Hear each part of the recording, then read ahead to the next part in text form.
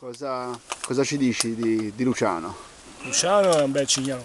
Secondo Bel me, secondo me quest- quest'oggi farà o 45 o 46. Senti che gufata. ok, allora altra intervista alla fine della gara per sapere del risultato, eh? se ci arriva alla fine della gara.